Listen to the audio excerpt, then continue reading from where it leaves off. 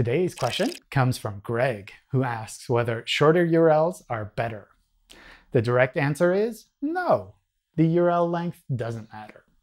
We use URLs as identifiers. It doesn't matter how long they are. Personally, I try to keep them shorter than 1,000 characters, but that's just to make monitoring easier. The number of slashes in there also doesn't matter. I'm currently only aware of one part of our systems where the URL length plays a role. That part is canonicalization. Canonicalization is what happens when we find multiple copies of a page on your website, and we have to pick one URL to use for indexing. If we find a shorter and cleaner URL, our systems tend to select that one. This does not affect ranking. It's purely a matter of which URL is shown in search.